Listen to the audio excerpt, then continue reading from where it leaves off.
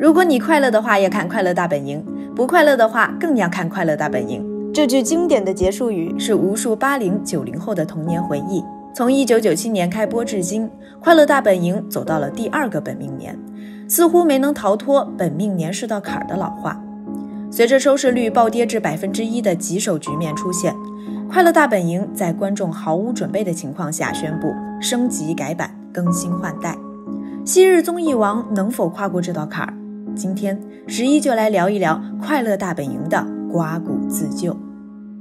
九月底，一条突如其来的爆料给正在进行中的清朗行动加了把柴。据一位自称知情的微博网友说，《快乐大本营》将无限期停播。起初，大多数网友对这个博眼球的爆料嗤之以鼻，毕竟《快乐大本营》是湖南卫视的当家综艺，开播二十四年风雨无阻，骤然停播确实不太现实。然而，接下来发生的种种事情让大家的想法开始动摇。先是有网友发现《快乐大本营》的下期预告神秘消失，之后谢娜的部分粉丝发现她并没有按照行程表上的计划进行节目录制。大家疑神疑鬼之际，又有人爆料说何炅将辞职离开《快乐大本营》。这个消息似乎与之前的种种迹象相互印证。不过，湖南卫视内部人员和官博很快就站出来辟谣，表示节目不会停播，何炅也没有辞职。与此同时，爆料人也删除了相关动态，悄然退场。可正当事情告一段落的时候，原定于十月九号晚播出的最新一期《快乐大本营》，却在没有任何事先通知的情况下被换成了其他节目。观众怀疑是不是工作人员搞错了，网友则惊讶于官方辟谣的谣言竟然也能成真。紧接着，湖南卫视给出了解释，称《快乐大本营》要进行升级改版、更新换代。这次停播看似突然，可细细想来，快乐不在，青春启航的改变早已有了先兆。快乐大本营为何走到这一步？一九九七年，湖南电视台为了保住收视率，模仿湖南经视的综艺节目《幸运三七二一》，创办了快乐大本营。第二年，前央视主持人何炅加入节目。和李湘默契搭档，仅仅半年时间就让《快乐大本营》的收视率达到了百分之三十三，一跃成为全国收视率最好的节目之一。二零零零年之后，李湘出走，谢娜、李维嘉、吴昕、杜海涛加入，和何炅正式组成快乐家族。节目组摸索出一条成熟的综艺路线，请最红的明星玩最傻的游戏。贝克汉姆、葛优、周星驰。梁朝伟等明星都做过节目嘉宾。巅峰时期，《快乐大本营》甚至不需要讨好任何人，连贝克汉姆录节目都不用支付一分出场费。即便如此，素有圈内大姐大之称的那英都曾在节目现场吐槽：上快本门槛太高，要不是发新专辑，连我都上不了快本。并且制片人龙梅透露，他们用极低的制作成本，一度可以换取百分之八千的回报。然而，最近几年，《快乐大本营》却在这条路上越走越歪。观众发现，以前是谁上快本谁火，现在是谁火谁上快本。随着缺乏国民度的流量明星越请越多，节目的收视率也开始直线下滑。从前被称为创新形式的各种游戏，也不断被网友吐槽无聊没营养。彼时，还有一大票铁杆观众认为，《快乐大本营》的没落源于限娱令的打压。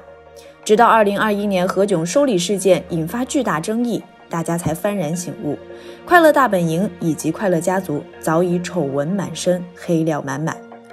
何炅曾在节目中毫不避讳地说：“彭昱畅粉丝送的按摩椅太好用了，只是粉丝们贴在礼物上的不干胶粘性太好，撕都撕不下来，只能留给自己用。”而何老师已经收到二十多个保温杯、五十多支钢笔了。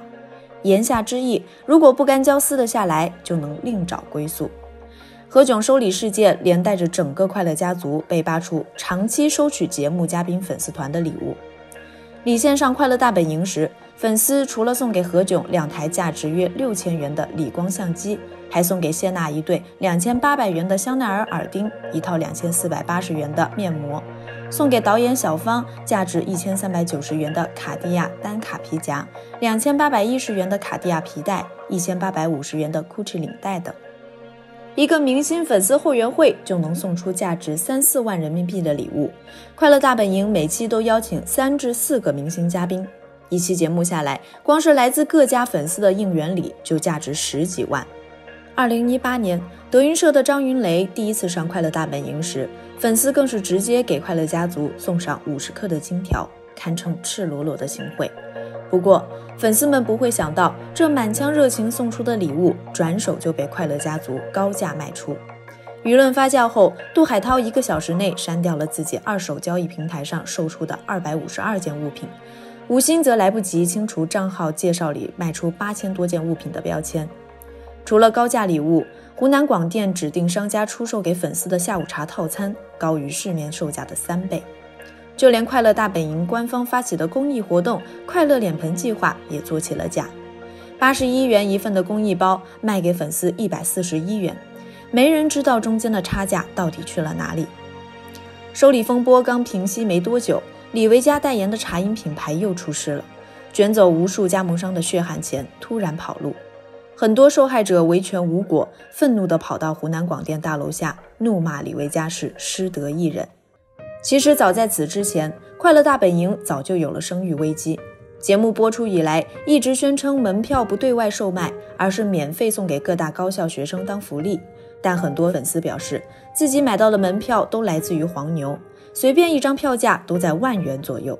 至于黄牛是如何拿到免费赠给大学生的门票，答案不言而喻。不只是粉丝，节目组对待明星嘉宾也不手软。二零一零年，著名表演艺术家朱时茂受到节目邀请，带新电影《戒烟不戒酒》的演员邬君梅、杨恭如、阿朵、孙楠等艺人录制《快乐大本营》，还邀请到了英达和陈佩斯在场外助力。结果，导演组在录制前夕通知朱时茂：“你们没有腕儿，节目录不了。”气愤的朱时茂发微博质问。可节目组拜高踩低的行为早已经成为一种不成文的规定。熟悉《快乐大本营》的观众都知道，节目中有个潜规则：韩国明星高人一等。二零一四年，《古剑奇谭》的三位主演受邀参加节目，碰上了当时韩国人气最高的明星朴有天，于是李易峰、陈伟霆、马天宇全程充当背景板。没多久，《古剑奇谭》爆火。李易峰成为新晋顶流，再次登上节目，待遇肉眼可见的提升了一大截。节目组看人下菜的功力引来骂声不断。不过骂得最狠的一次还是杜海涛下跪权志龙事件。杜海涛在某颁奖典礼上，因见到权志龙太过激动，当场单膝下跪给权志龙颁奖，引起舆论哗然。国外被韩国人嘲笑，国内被网友怒斥，男主持人接连出事。谢娜和吴昕也不例外。快乐大本营之外，吴昕在综艺节目《你怎么这么好看》中的表现让她观众缘大减。谢娜则早在知乎问题“谢娜为什么这么招人讨厌”下，被网友骂出两万多条截然不同的回答。二零二一年，《快乐大本营》的收视率从百分之七跌至百分之一。八月，当红偶像丁程鑫正式加入快乐家族，可流量明星这个收视密码早已失效。谢娜第一次产后归来带起的收视率飞升的奇迹，在她二度回归后也不复存在。在节目组安排的温馨时刻，百分之七十的观众选择不看谢娜的煽情片段。向往的生活中，黄磊曾问何炅：“你会不会有哪天不录《快乐大本营》了？”何炅想也没想就回答：“我不可能不录，除非这个节目不录了。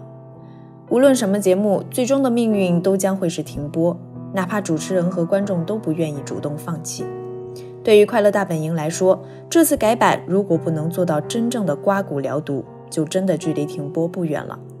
离开这档昔日王牌，快乐家族成员该何去何从？与快本停播同时爆出的《天天向上》改为汪涵一人主持，是真是假？我是十一，想要收看更多内容，欢迎点赞关注，也期待你在评论区留言和十一说说你的看法。我们下期视频再见。